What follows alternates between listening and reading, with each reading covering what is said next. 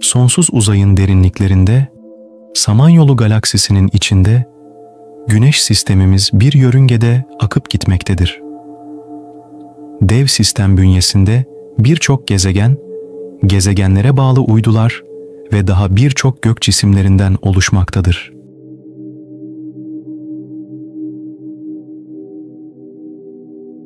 Bu gök cisimleri arasında dikkatleri üzerine çeken önemli bir gezegen bulunuyor. Merkür. Sistemdeki en küçük, en hızlı ve Güneş'e en yakın gezegen olarak yörüngesinde akıp gidiyor. Güneş sisteminin dört karasal gezegenlerinden biri olan Merkür, gerek yapısı, gerekse özellikleri ve geçmişiyle bizi bir bilinmezliğin içine sürüklüyor.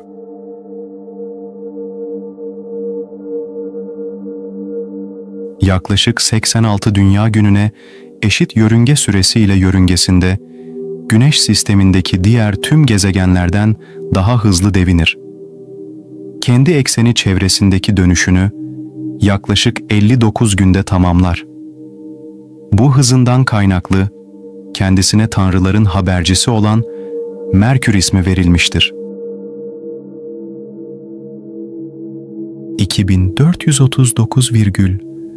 2439,7 kilometrelik ekvator yarıçapı ile Güneş sistemindeki en küçük gezegendir. Boyutu bir gezegene göre o kadar küçüktür ki, Güneş sisteminin en büyük uyduları olan Ganimede ve Titan'dan daha küçüktü. Merkür yaklaşık olarak %70 metalik ve %30 silikat maddelerinden oluşur. Aynı zamanda Güneş sistemindeki en yoğun ikinci gezegendir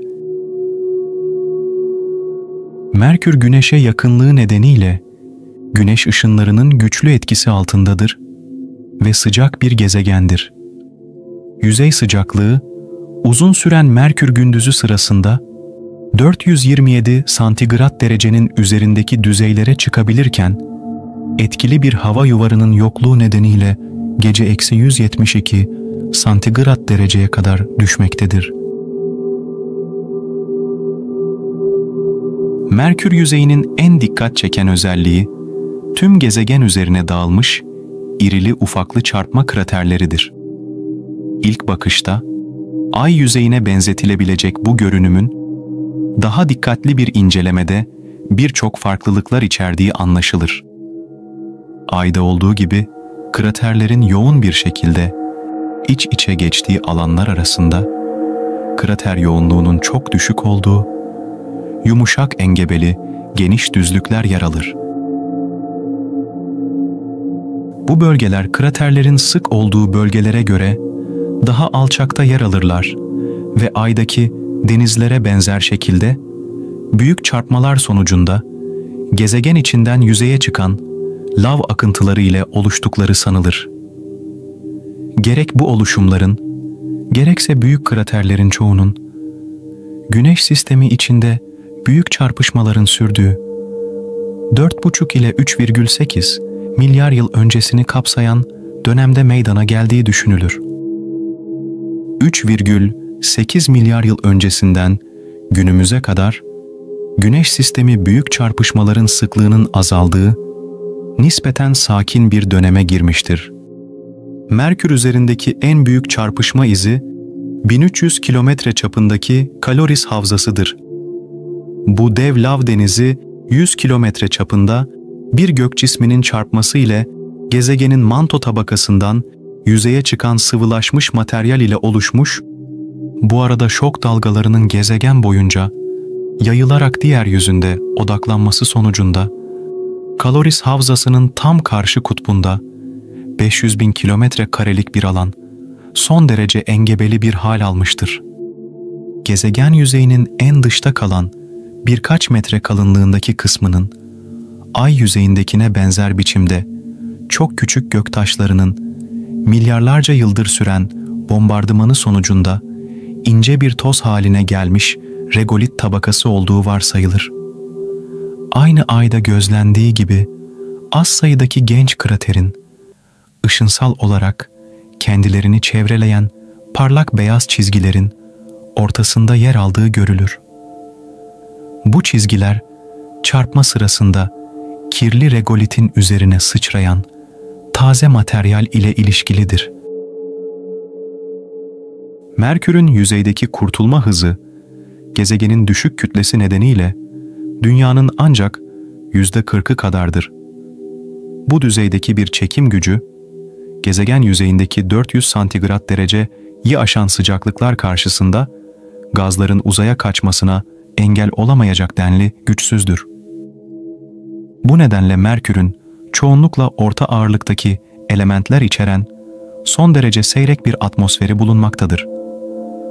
Bu atmosfer durağan olmaktan çok, Merkür'ün konumunda etkisi güçlü olan güneş rüzgarı ve yüksek yüzey ısıları nedeniyle gezegen yüzeyinden koparılan ve kısa sürede uzay boşluğuna kaybedilen atomlardan oluşmuş, sürekli yenilenen bir yapıdadır.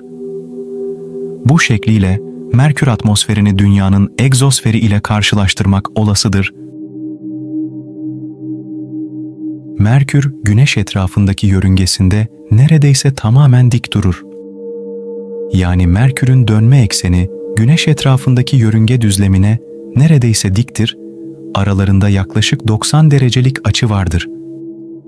Bu durum, Merkür'ün her enlemi, yılın her günü aynı mevsimi yaşayacağı anlamına gelir.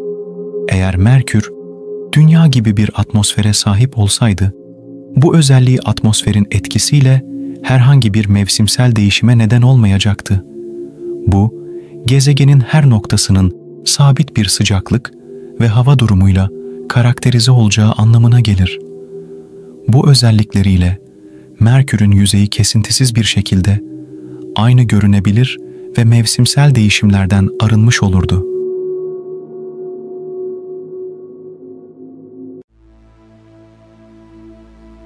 Gece gökyüzünde gördüğümüz gezegenler arasında kendini belirgin kılan ve hem sabah hem de akşam çok net bir şekilde görülebilen, antik dönemden bu yana hep insanlığın ilgisini çekmiş bir gök cismi bulunuyor.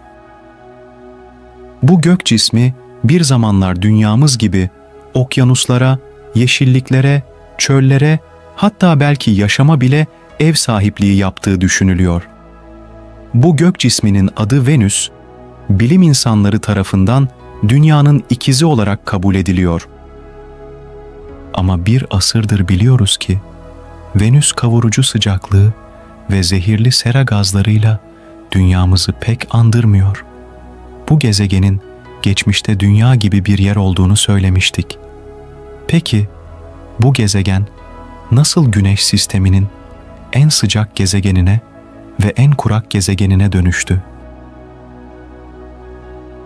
Venüs, güneş sisteminde güneşe uzaklık bakımından ikinci sıradaki, sıcaklık bakımından ise birinci sıradaki gezegendir.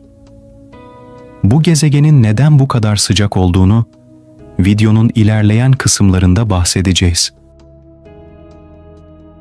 Bu gezegen adını eski Roma tanrıçası Venüs'ten almıştır. Venüs, Ay, Güneş, Merkür, Mars, Jüpiter ve Satürn ile birlikte görünür hareketlerinin diğer yıldızlardan farklılığıyla tanınan yedi gök cisminden biri olarak gösterilir. Bu yönüyle antik gök bilim için olduğu kadar astroloji açısından da önem taşıyan gezegen, birçok dilde haftanın yedi gününe adını veren gök cisimlerinden biri olarak tarih öncesinden günümüze insan kültüründe yerini korumuştur. 1610'da İtalyan gökbilimci Galileo Galilei basit bir teleskop yardımı ile Venüs'ün evreleri olduğunu fark etti. Daha sonraki gözlemlerinde gezegenin evrelerindeki değişikliklere paralel olarak görünür boyutunun da değiştiğini gözleyen Galilei, bu bulguları gezegenin güneş etrafında döndüğünün kuvvetli göstergeleri olarak kabul etti. Bu evreleri daha ayrıntılı incelersek, tıpkı Ay gibi Venüs'ün güneş ışığı vuran yarım küresinde de evreler görülebilir. Arka bahçedeki teleskopla çekilen görüntülerden oluşan bu birleşik fotoğraf, akşam yıldızımız Venüs'ün istikrarlı değişimlerini gösteriyor. İç gezegen büyüdükçe ince bir hilal şekline bürünüyor. Dünya ve Güneş arasındaki yörüngesinde süzülen Venüs, bu dönem boyunca Dünya gezegenine yaklaştığı için büyür. Güneşe olan bakış açımıza yaklaştıkça da Venüs'ün hilali gitgide daralır. Venüs Dünya Güneş doğrultusuna en yakın olacak şekilde 3 Haziran'da Güneş'in yaklaşık 1 bölü 2 derece kuzeyinden geçerek bir alt kavuşuma ulaşacak. Kısa bir süre sonra Dünya gezegeninin sabah yıldızı olarak şafak sökmeden önce doğu ufkunun üzerindeki göklerde parlayacak. Venüs'ün yarıçapı Dünya'nınkinden sadece 300 kilometre daha küçüktür. Kütlesi ise Dünya'nınkinin yaklaşık yüzde 82'si kadardır. Ancak Venüs'ün diğer özellikleri gezegenimizden çok farklıdır. Venüs'ün yüzeyindeki bir cisme etki eden kütle çekim ivmesi, Dünya'nın yüzeyindekine benzerdir. Yani Venüs'te yürüyor olsaydınız, ağırlığınız Dünya'nın yüzeyindeki kadar olurdu.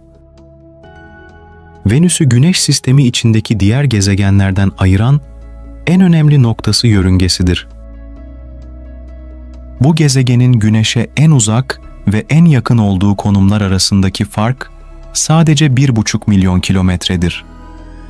Güneş'e uzaklığı ortalama 108 milyon kilometre olan Venüs, Güneş ile arasındaki mesafe Dünya'nın Güneş'e olan uzaklığının üçte ikisi kadardır. Venüs'ün diğer gezegenlerden farklı bir dönüş sistemi vardır. Güneş sistemindeki gezegenlerin neredeyse hepsi saat yönünün tersinde dönerken Venüs saat yönünde dönmektedir. Yani Venüs'te Güneş batıdan doğar, doğudan batar. Venüs'ün bir günü bir yılından daha uzundur. Yani Venüs kendi ekseni etrafında bir tam turunu tamamlamadan Güneş etrafındaki bir turunu tamamlar. Venüs'ün bir yılı 225 dünya gününe eşit iken bir günü 243 dünya günüdür.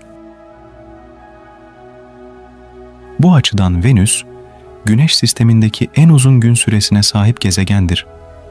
Ancak eğer Venüs günü Güneş'in iki doğuşu arasında geçen süre olarak hesaplanırsa, Venüs'ün bir günü yaklaşık 117 dünya gününe eşit olur. Yani Venüs'te yaklaşık 60 gün süren gece ve gündüzler yaşanır.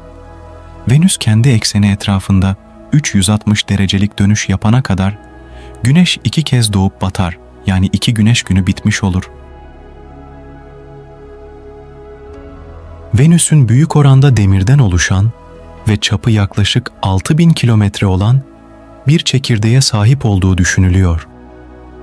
Venüs'ün çekirdeğinin üzerinde kalınlığı 3000 kilometre olan ve erimiş kayaçlardan oluşan bir manto tabakası bulunuyor.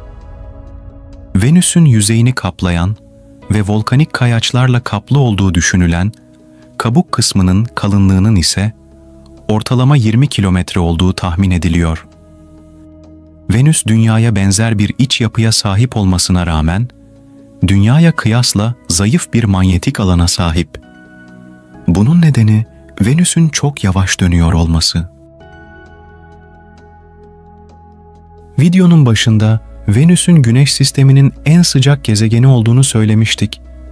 Bu gezegenin neden bu kadar sıcak olduğuna bakalım. Venüs, Güneş'e en yakın gezegen olmasa da en sıcak gezegendir.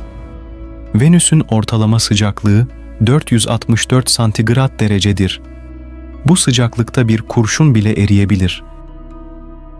Venüs'ün çok sıcak olmasının nedenlerini şöyle sıralayabiliriz. Venüs'ün atmosferinin ana bileşeni bir sera gazı olan karbondioksittir. Sera gazları güneşten gelen enerjinin bir kısmının gezegenin yüzeyinden tekrar uzaya yayılmasını engelleyerek ısının gezegenin atmosferinde hapsolmasına ve sıcaklığının yükselmesine neden olur. Aynı zamanda sera etkisi nedeniyle Venüs'ün gece ve gündüz arasındaki sıcaklık farkı çok azdır. Bunun yanında Venüs'ün dönme ekseni ile yörünge düzlemine dik olan eksen arasındaki açı yaklaşık 3 derecedir. Bu nedenle Venüs'ün farklı enlemlerinde belirgin sıcaklık farklılıkları görülmez. Venüs'ün atmosferinin kalınlığı yaklaşık 120 kilometredir.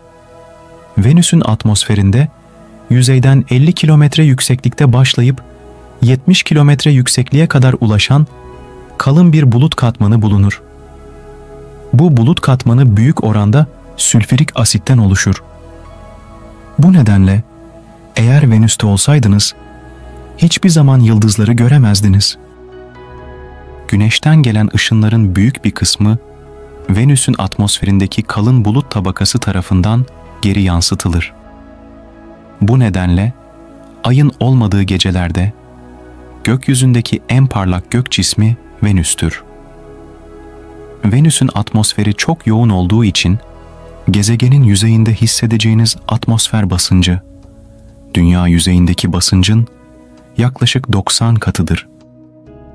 Bu basınç değeri yaklaşık olarak okyanusun 900 metre derininde hissedeceğiniz basınca eşdeğerdir.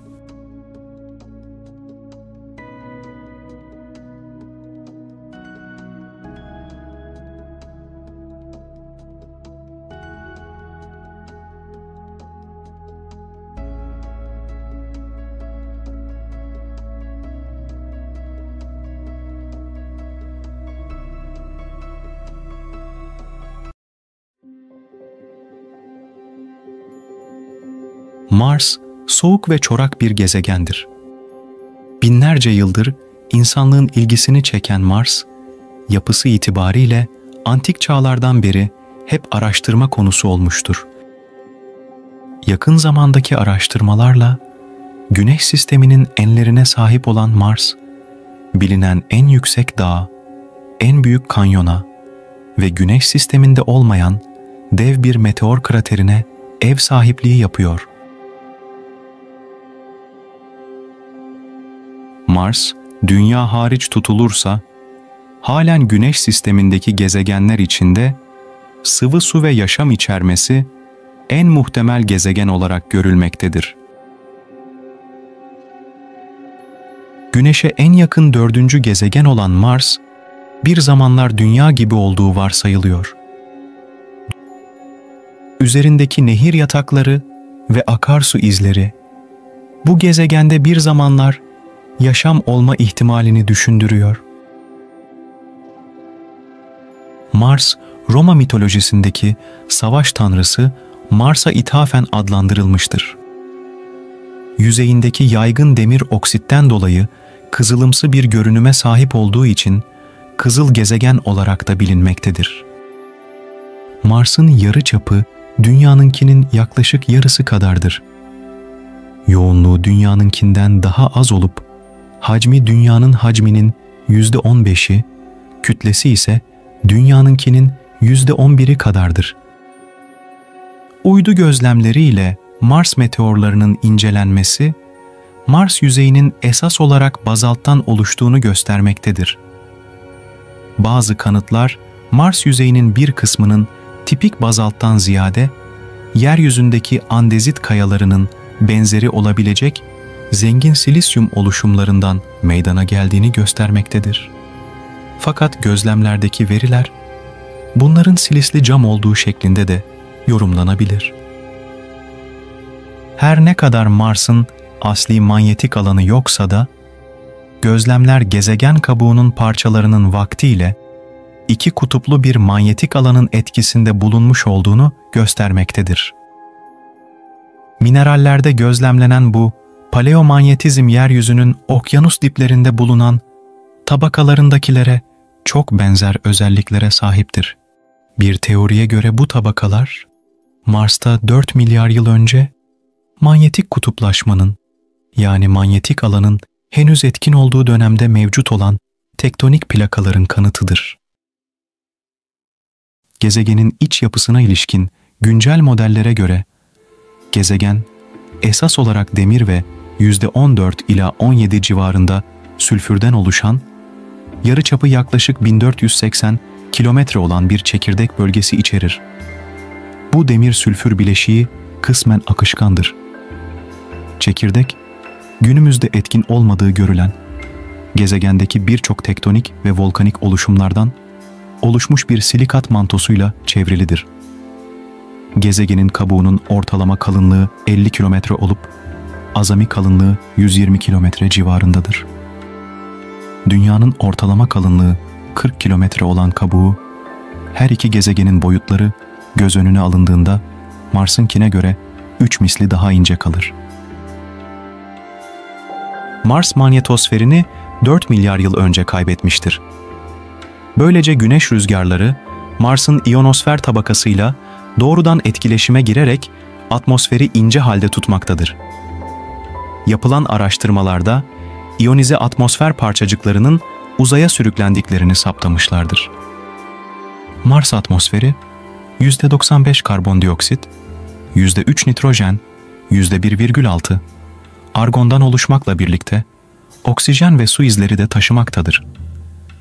Mars atmosferi tümüyle tozludur ki bu Mars yüzeyinden bakıldığında Mars gökyüzünün soluk bir turuncu kahverengimsi renkte görülmesine neden olmaktadır.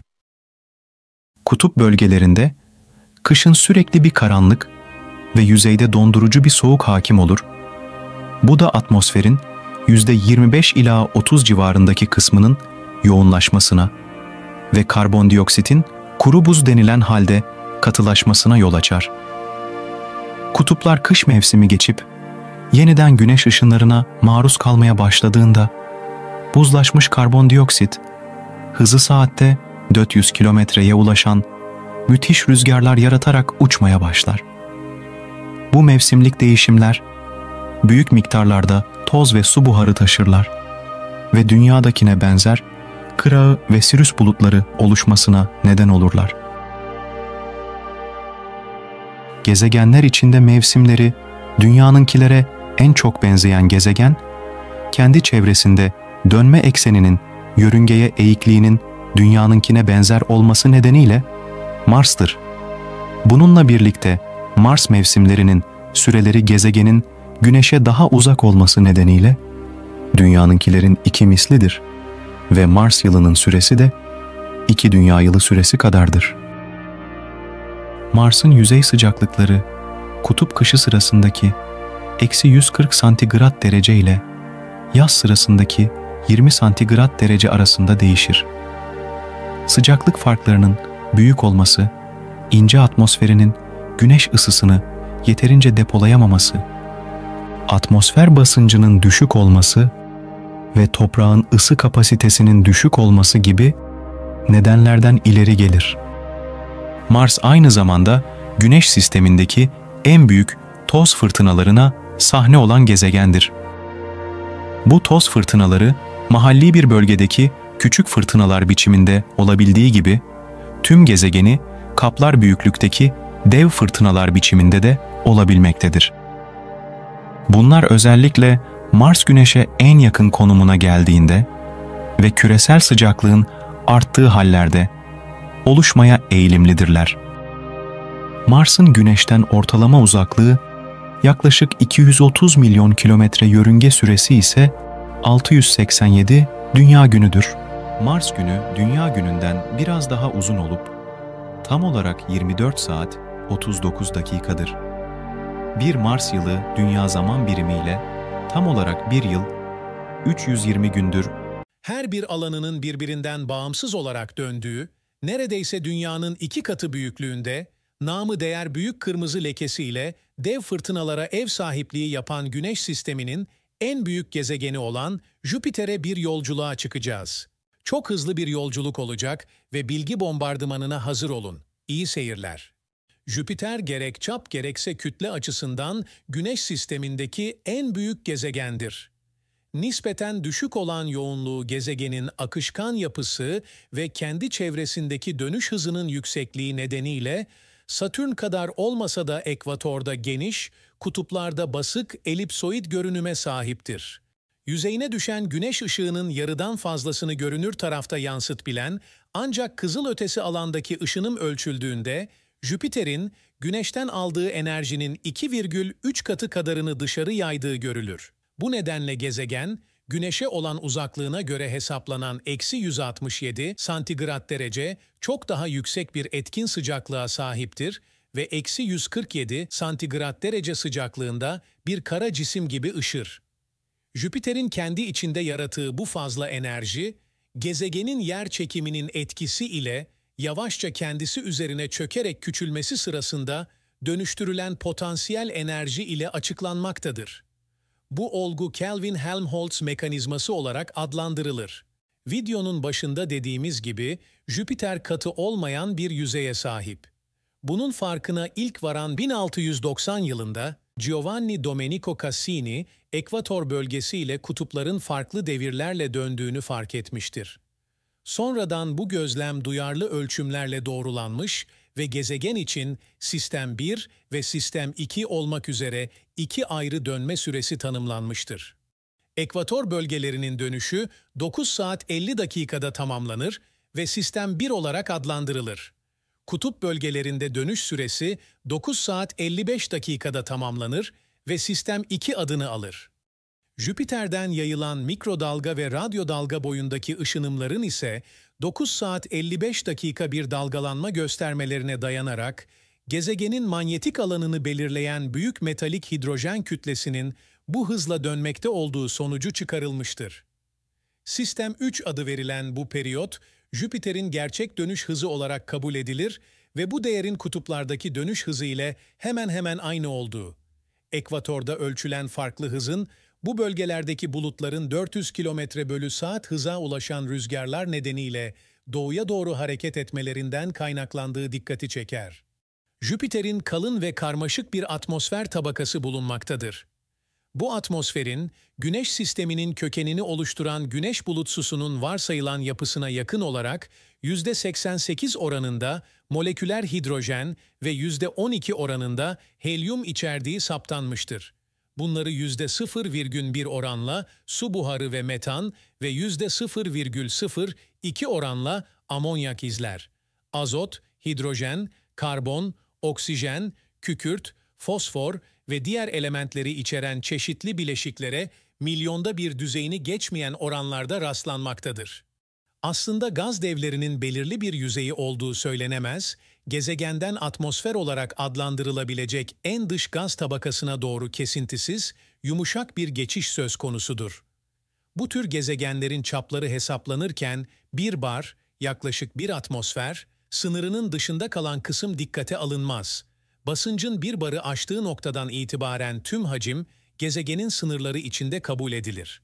Ancak çoğu zaman atmosfer olarak adlandırılan alan, hidrojen gazı yoğunluğunun sıvı, hidrojen yoğunluğu düzeyine çıktığı 10.000 bar, basınç sınırına yani gezegenin binlerce kilometre içine dek genişletilir.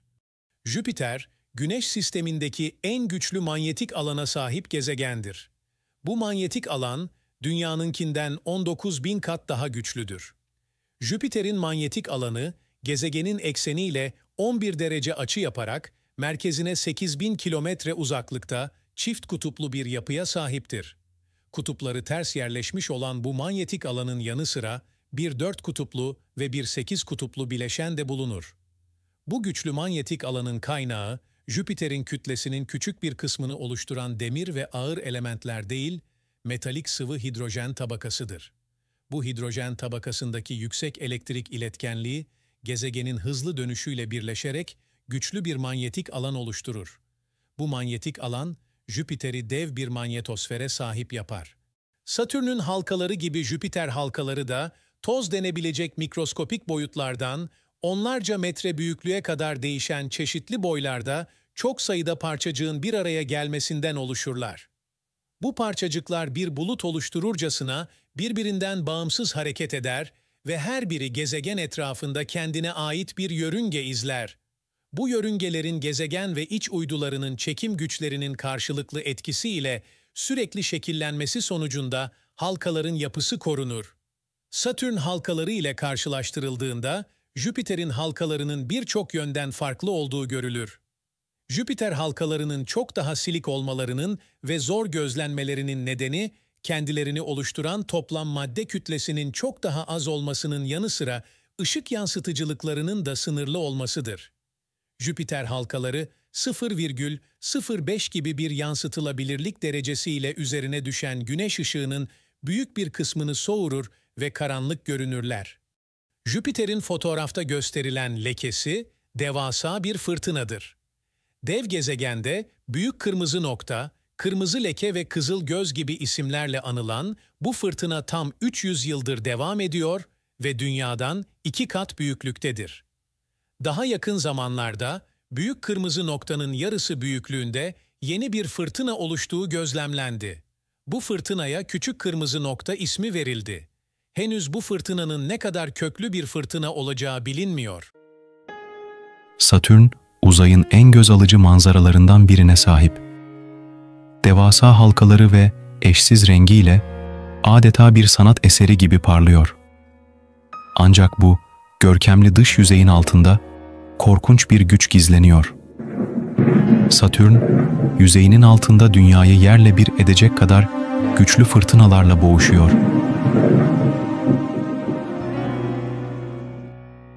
Güneş sisteminin devleri arasında yer alan Satürn, Jüpiter'in hemen ardından gelen en büyük gezegen. 720 dünya hacmi kadar geniş bir alana yayılan bu dev, kütlesiyle de büyüleyici. Dünyanın kütlesinin tam 95 katı olan Satürn, Güneş sisteminin en az yoğunluğa sahip gezegeni. Yoğunluğu o kadar düşük ki, bir parçasını alıp dünyadaki okyanuslarda yüzdürebilecek kadar hafif. Bu görkemli gezegen, sadece yüzeyinin altında değil, aynı zamanda bilinmeyenlerle dolu bir sır perdesi altında da gizemini koruyor. Gelin, Satürn gezegenini en ince ayrıntısına kadar inceleyelim.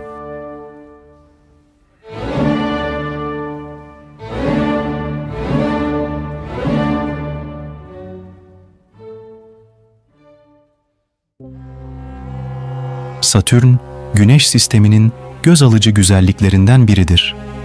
Halka sistemiyle ünlü bu muhteşem gezegen, yıllardır bilim insanlarını, gök bilimcileri ve meraklıları kendine çekmektedir. 116 bin kilometrelik çapıyla Satürn ikinci en büyük gezegen unvanını taşır ve bu boyutuyla dünyanın çapını neredeyse 10 kat aşar. Güneşten itibaren 6. sırada bulunan ve Güneş'in etrafında dolanan bu dev gezegen ortalama 1,4 milyar kilometre uzaklıkta konumlanmıştır. Hızlı dönüşü nedeniyle bir günü yaklaşık 10,7 saat sürerken, Güneş etrafındaki uzun yörüngesi nedeniyle bir yıl yaklaşık 29,5 dünya yılına denk gelir. Jüpiter gibi, Satürn de çoğunlukla hidrojen ve helyum gibi hafif elementlerden oluşur. Ancak bu gaz devinin merkezinde dünya boyutlarında bir kayalık çekirdek bulunmaktadır. Bu çekirdeğin çevresinde ise yaklaşık 30 bin kilometre derinliğinde metalik bir hidrojen kabuğu yer alır. Daha üstünde ise gezegenin yüzeyi olarak gördüğümüz bölge bulunur. Bu bölge yaklaşık 1000 kilometre derinliğinde ve sıvı hidrojen ve helyumdan oluşan gazlı bir atmosfere sahiptir. Satürn'ün yaklaşık %75'i hidrojen ve %25'i helyumdur. Bulutlar, amonyak, metan ve fosfin gibi bileşikleri verecek şekilde hidrojenle birleşen çok küçük miktarlardaki diğer kimyasal elementlerden oluşur. Satürn, Jüpiter'den daha soğuk olduğundan atmosferinin alt kısımlarında daha renkli kimyasallar oluşur ve görülmez. Bu çok daha az dramatik işaretlerle sonuçlanır. Ancak bunlar Jüpiter'de görülenlere benzer ve bazı ufacık noktalara sahip şeritler şeklini alır. Satürn'ün ikonik halkaları, boyutları küçük toz taneciklerinden daha büyük kayalara kadar değişen sayısız parçacıktan oluşur. Bu parçacıklar ağırlıklı olarak buzdan oluşuyor, buna su buzu da dahil ancak aynı zamanda eser miktarda kayalık malzeme de içeriyorlar. Satürn'ün halkalarının kesin kökeni hala bilimsel bir araştırma konusudur. Teoriler bunların parçalanmış bir ayın enkazından veya geçen nesnelerin yakalanması yoluyla oluştuğunu öne sürmektedir. Halkalar aslında genişliklerine kıyasla oldukça incedir. Halka sistemi Satürn'den 228 bin kilometreye kadar uzanırken dikey yüksekliği yalnızca 10 metre civarındadır. Ayrıca her halka gezegenin etrafında farklı bir hızla döner. Galileo Galilei 1610'da Satürn'ün halkalarını ilk gören kişiydi ancak neyi gözlemlediğini tam olarak belirleyemedi. Hollandalı matematikçi ve gökbilimci Christian Huygens bunları 1655 yılında halka sistemi olarak tanımladı. Uzun yıllar boyunca Satürn'ün halka sistemine sahip olması bakımından benzersiz olduğu düşünülmüştü. Ancak artık Jüpiter, Neptün ve Uranüs'ün de halka sistemleri olduğunu biliyoruz. Ancak hiçbiri Satürn'ünki kadar belirgin değil. Satürn'ün muhteşem halkaları gezegenin çevresini saran bir hazine gibi parıldıyor.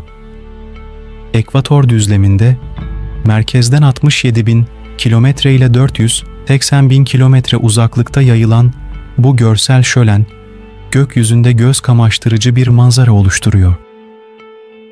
Ancak bu büyüleyici görüntünün ardında birçok gizem ve keşfedilmemiş özellik yatıyor. Halkaların iç sınırları Satürn'ün yüzeyinden oldukça uzakta, tam 6700 kilometre ötede başlıyor. Ancak dış sınırları Satürn'ün roş limiti olarak adlandırılan 150 bin kilometrelik sınırdan çok daha ileride uzanıyor. Satürn'ü diğer gezegenlerden farklı kılan en belirgin şey muazzam güzellik ve büyüklükteki halka yapısıdır. Ancak bu gezegenin diğerlerinden farklı bir özelliği daha var. Satürn'ün kuzey kutbu etrafında dönen dev altıgen halka benzeri yapısı başka hiçbir gezegende görülmemektedir. Bilim adamları tarafından merak uyandıran altıgenin görüntüleri ilk olarak Voyager tarafından 1981 yılında keşfedilmiştir. İlerleyen yıllarda yapılan açıklamalar Satürn'ün atmosferinde duran bir dalga olduğu yönünde olmuştur. Gezegenin atmosferindeki bu garip oluşumun varlığı yıllar sonra Satürn'e ulaşan Cassini uzay aracı ile teyit edilmiştir. Mevsimsel olarak zaman zaman renk değiştiren altıgen görünümün 20 bin kilometre çapındaki bir fırtınanın dev bir jet akımıyla oluştuğu düşünülmektedir. Fakat bu akımın nasıl ve ne tarafından kontrol edildiği hala bir sır olarak kalmıştır.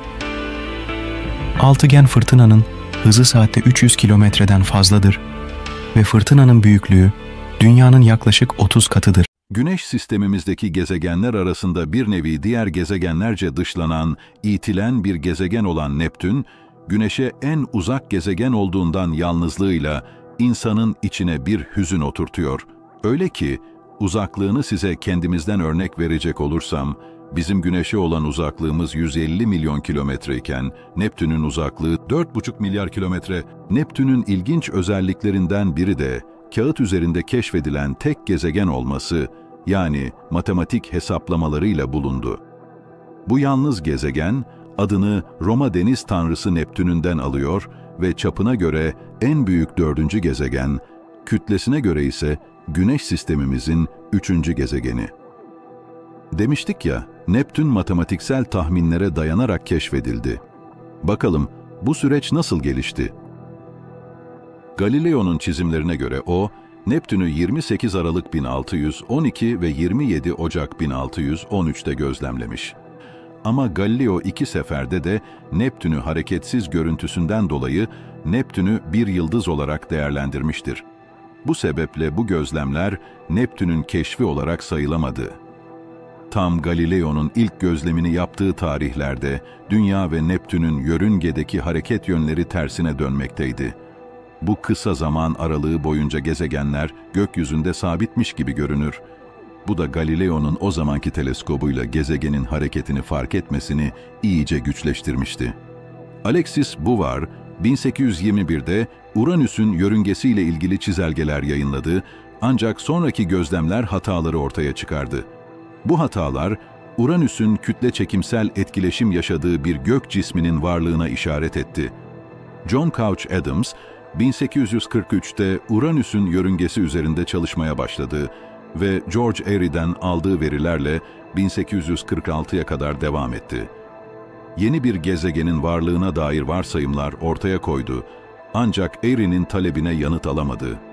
Urbain Le Verrier aynı dönemde bağımsız olarak hesaplamalar yaptı. Le Verrier'in bulguları Adams'ın çalışmalarıyla örtüştüğünde James Challis'i yeni gezegeni bulmaya ikna etti.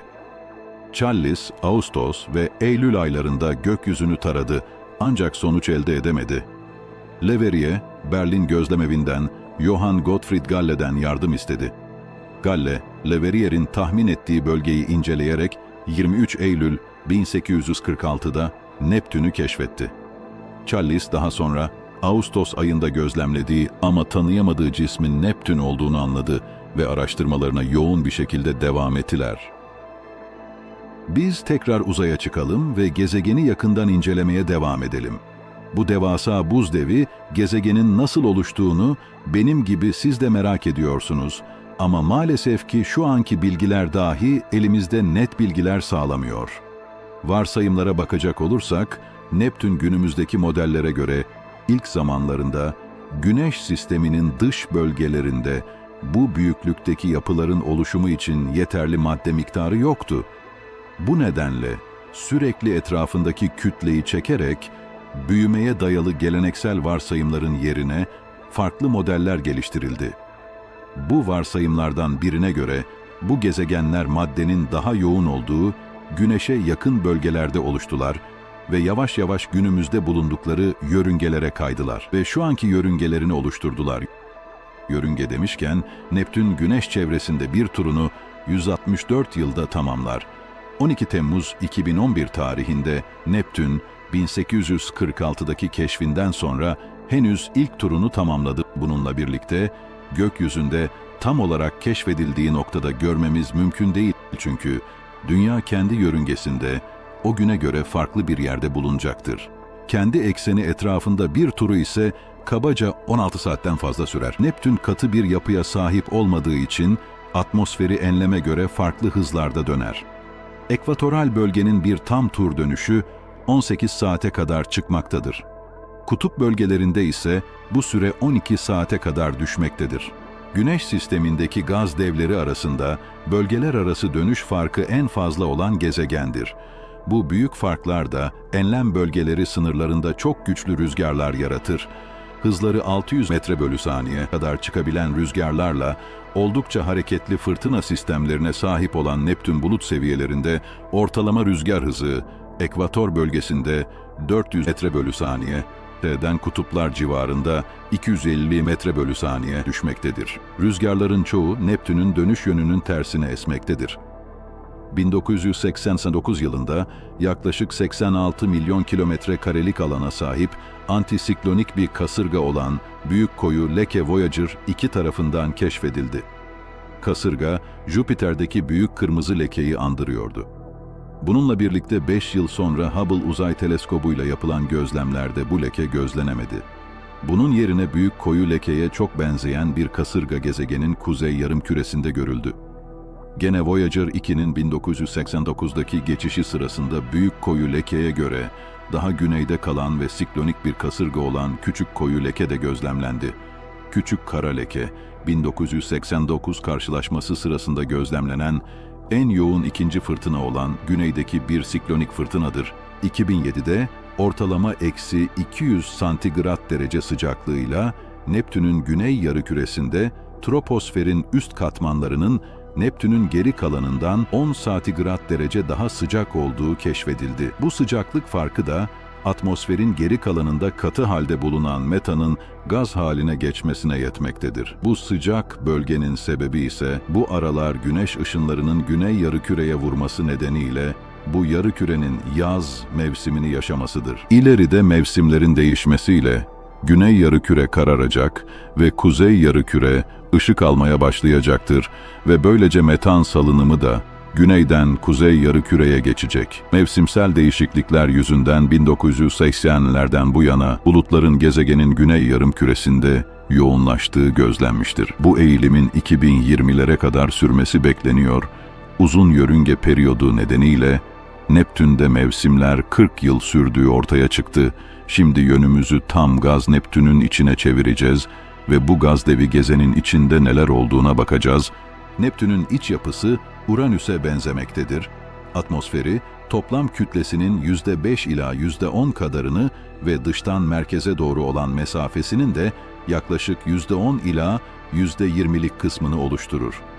Bu daha koyu ve sıcak bölge derinlere gittikçe yavaş yavaş sıcaklığın 5000 santigrat dereceyi bulduğu sıvı bir mantoya dönüşür. Manto 10 ila 15 dünya kütlesine denk. Su, amonyak ve metanca zengindir. 7000 kilometre derinlikten itibaren çekirdeğe kadar ortam koşulları öyle bir hal alır ki metan, elmas kristallerine ayrışır. Neptün'ün çekirdeği ağırlıklı olarak demir, nikel ve silikatlardan oluşmaktadır. Kütlesi 1.2 dünya kütlesi kadardır. Basınç merkezde 7 membar, sıcaklık ise 5400 Kelvin civarındadır. Bu gezegeni dış tehlikelere karşı koruyan bir atmosferi olduğunu biliyoruz ama ne kadar etkili gelin bakalım. Yüksek kısımlarında Neptün atmosferi %80 hidrojen ve %19 helyumdan oluşur. Eser miktarda metan da vardır. Metan, ağırlıklı olarak elektromanyetik tayfın kızıl ve kızıl ötesi bölgesine denk gelen 600 nanometre ve daha uzun dalga boylu ışınları soğurur.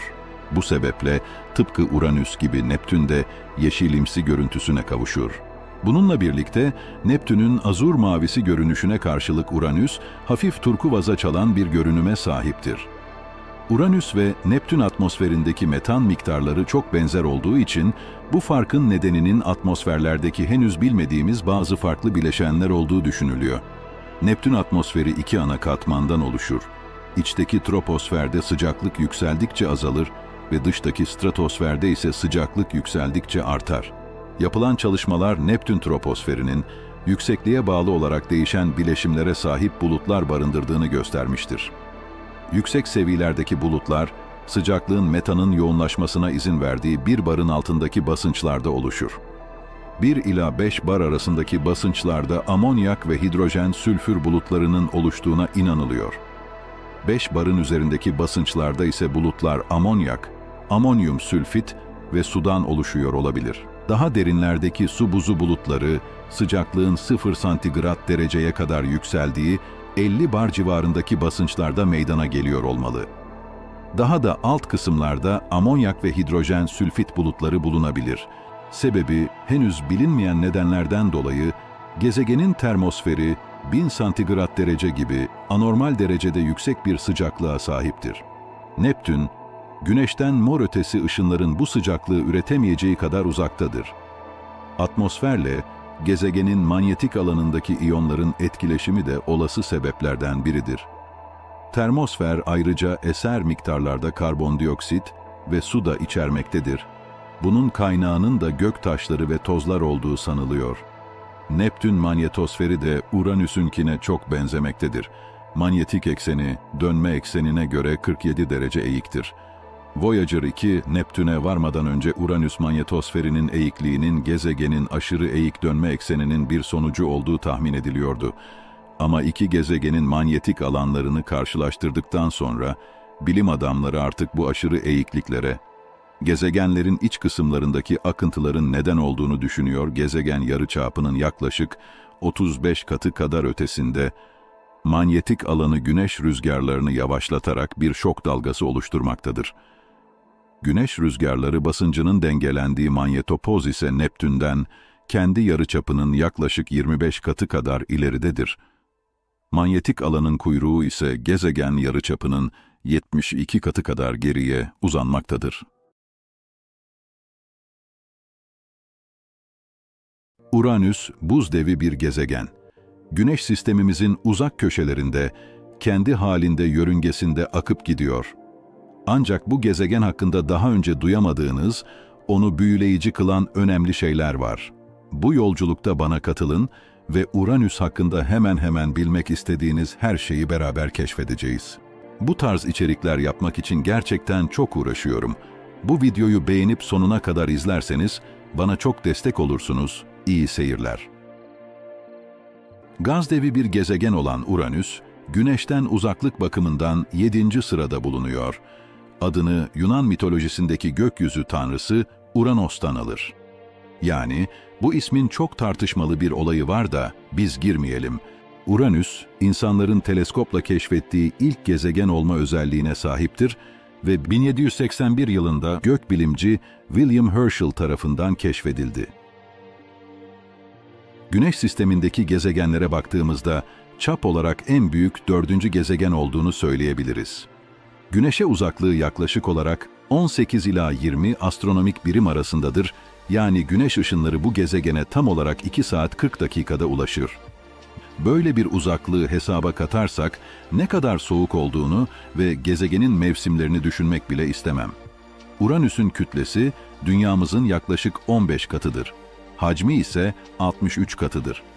Dünyanın büyüklüğünü göz önüne aldığımızda gerçekten Uranüs'ün ne kadar büyük olduğunu düşünmek korkunç. Tabii ki diğer gezegenlerle kıyaslamıyorum, yoksa pek bir olayı yok.